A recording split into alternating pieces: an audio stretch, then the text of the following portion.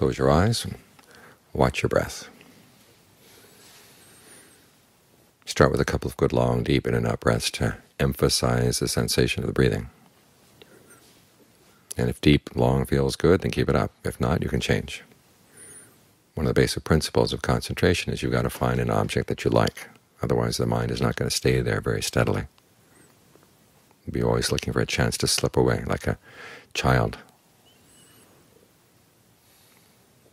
If you don't give the child love, and no matter how much you lock the windows and lock the doors, it's going to find a way to get out of the house.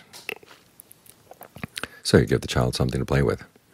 You play with the breath in the body, play with the earth, water, wind, fire in the body, all the different sensations you got in the body. How can you breathe in a way that brings everything together so it feels good? Everything is coordinated, everything is getting along. Not too cold, not too hot.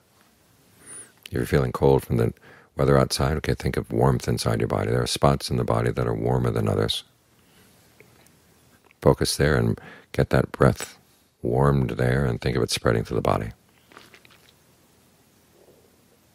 This way you create a place where the mind really does want to stay. And It's happy to stay here. That gives a lot more stability to your concentration. That factor of evaluation, the Buddha puts as one of the factors of the first jhana. Some people say, well, it's just a sign that your mind hasn't really settled down. Well, before it can settle down, it's got work to do. You've got to adjust things so your mind is just right with the breath, the breath is just right with the mind. The body, breath, mind, they're all getting together. They're all getting along. So you might want to question the perceptions you have in your mind as well. Is there any perception that makes it harder to breathe? Think of the body wanting to breathe, and think of the breath wanting to come in. And that can come in from any direction. And see how that changes things.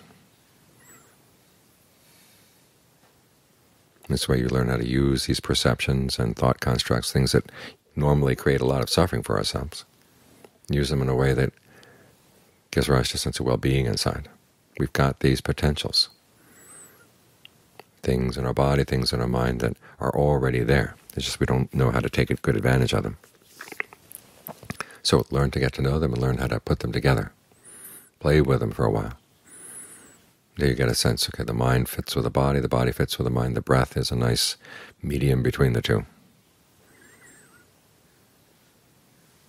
And this way your mind is solid, doesn't feel threatened by anything, and is willing to look at things with a lot more balance, both inside and out.